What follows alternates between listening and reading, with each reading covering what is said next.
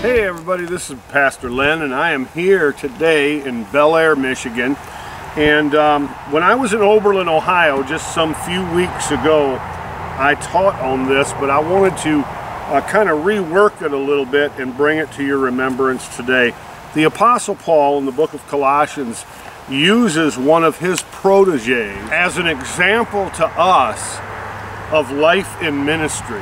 And, and it's a very uh, eye-opening look. So let's read uh, Colossians chapter 4 and verses 12 and 13. Paul says this, Epaphras, who is one of you, a bondservant of Christ, greets you, always laboring fervently for you in prayers, that you may stand perfect and complete in all the will of God. You know, that's my job as a fivefold ministry gift is to help you stand and the word perfect means mature. And so when we're involved in a process of perfection, it's a process of maturing in the Lord and also complete in your ministry calling. Now, you might not be called to the fivefold ministry giftings, but you're called to serve the Lord. You're called to do something productive in the kingdom. And so he says, I greet you uh, and Epaphras greets you, who's always laboring fervently for you in prayers, that you may stand perfect and complete in all the will of God. We mature, we grow, and we take step by step into God's will for our lives. And Paul goes on to say, For I bear him witness that he has a great zeal for you, and for those who are in Laodicea and Hierapolis. Now here's there's four things that we can learn from Epaphras' life in ministry. Number one, we can learn that teamwork was the hallmark of Paul's ministry. Paul, the great apostle, Paul that wrote most of the new covenant, Paul that touched the then known world with the gospel of Jesus Christ was constantly working in teams. It wasn't big I, little you with this great apostle. He worked with teams. He had team members such as Barnabas, Silas, Luke, and Timothy, and Epaphras, who we're going to talk about here today. Here's some things that you and I can learn from Epaphras' example. In chapter 1 of Colossians, in verse 7, Epaphras was shown to be persistent in ministry. And he teaches all of us through his example to be faithful in the Lord's work. To be faithful. You know, it's, it's not always easy to stay above discouragement when you work and you work and you try and you try and you don't see any visible results. But you know what? We need to keep faithfully being obedient to the call of God on our lives, even if the results are small or invisible, just knowing that a seed is being sown. Uh, you know, that's also sowing seed towards our faithfulness report where God is concerned. Because when we want God to look down on us and say, Len Paxton was faithful. It doesn't mean, you know, it doesn't matter so much Len Paxton preached to millions. We're actually starting our fourth million uh, on internet ministry right now. But that doesn't matter. What matters is when I had two people that listened to my ministry or five people uh, I preached it like I am today. To be faithful, to be persistent in ministry. Epaphras was, and he taught us to be so uh, by his example. Also, uh, we need to be faithful in our ministry year after year in the same ministry, because that's what we're called to, not just rising up to an occasion in a time of need and then they don't hear from you anymore Weariness also never stopped Epaphras.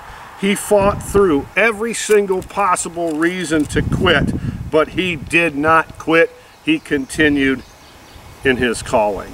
Also in chapter 1 of Colossians in verse 8, we see from Epaphras to be precise in our communication. Paul wrote one of the greatest books in the Bible, and he effectively spoke uh, his teaching to a community of believers that was based on what he learned from Epaphras' communication to him. So when we're communicating situations to others, we want to make sure we're accurate. So minister, listen to me. Avoid assumption, avoid presumption, avoid uh, putting your take on a situation, and report the facts of the gospel to the people and be precise in your communication. So, for, so we have persistent in ministry, precise in communication, and also in chapters 4, verses 12 and 13, we find out that Epaphras was passionate in prayer. He prayed always, the Bible says. He prayed fiercely. The Bible uses the word laboring. He, he prayed fervently. And for a great definition and, and, and another verse to look at on that, check out Romans 12, 11 and check out James 5, verse 16. And finally, Epaphras prayed factually. How do you do that? You pray the Word of God. You find yourself becoming, as we read to you from the text, complete in the will of God. And the more complete you grow into the will of God, this isn't something that, you know, some people are just complete and others don't have it. No, all of us grow into that completeness. And as we grow into that completeness, we begin to pray the will of God more. When we start out, we might be praying our will. We might be praying, Lord, help me prayers, and there's nothing wrong with that. If you need help, cry out to Jesus, hallelujah, because he wants to help you.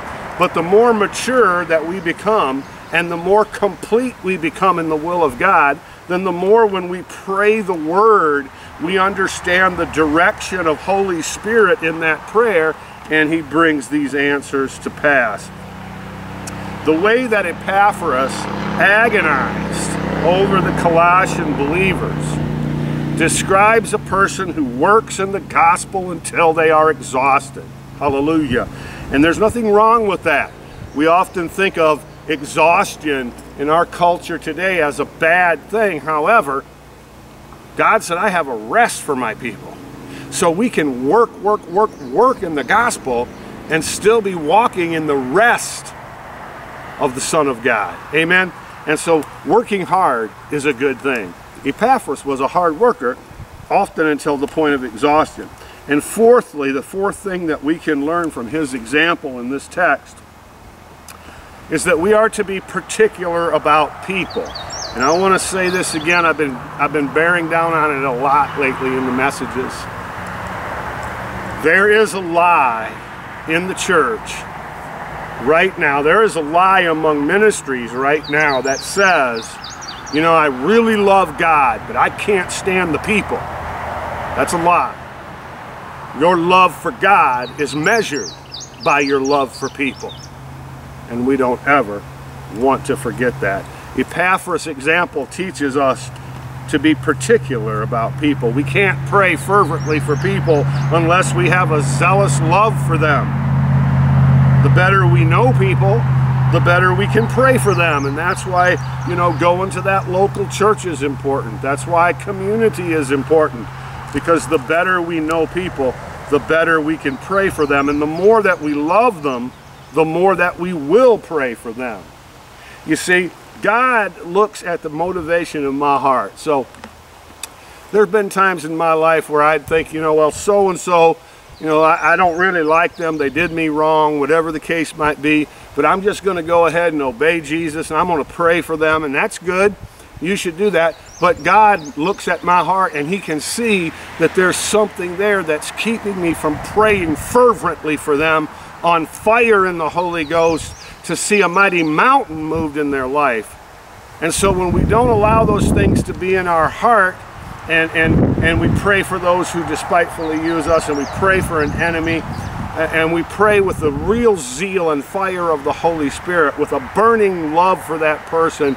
And the reason that we might be hurt is not because of what they did, but we're hurt because we aren't walking in harmony together. That puts a different perspective on that prayer. We learn that from the ministry example of Epaphras in the Word of God. So, ladies and gentlemen, and this came out a little bit differently than it did in Oberlin today, but I want you to remember these points. especially those of you who are working in your local church, who are helping your pastor, who are helping leadership. I want you to be persistent in ministry. I want you to be precise in your communication. I want you to be passionate in prayer. And I want you to be particular about people. Because as you are, you will find revival beginning to break out in your circles. I also want to take this moment of time to tell you where I got this material today is from the David Jeremiah Study Bible. I'm holding my copy right here. And uh, it's a Bible that I highly recommend for all of my friends. It's a great read and some awesome, awesome material contained in it. So as we go forward from here, uh, Angie and I have a real heart to continue to connect with local bodies of believers. And we want to see ministries that are submitted to pastoral authority and who are emanating directly from a local church. And so we're looking forward to meeting up with you out there, to sharing some times of fellowship. Come on out wherever we are, if you're in the area, and make some videos with us. We would love to put your testimony on tape. We would love to air it around the world, literally through the internet. And we would love for people to, let's just fill up the internet with Jesus. Amen. As I said, we're on our fourth million uh, people who we've reached through the ministry in the last decade through the internet come on out and share your testimony with us and possibly a brief teaching or whatever the case might be. So from Bellaire, Michigan, on a beautiful sunny July day, this is evangelist Len Paxton saying, go with God and he will go with you. Bless you.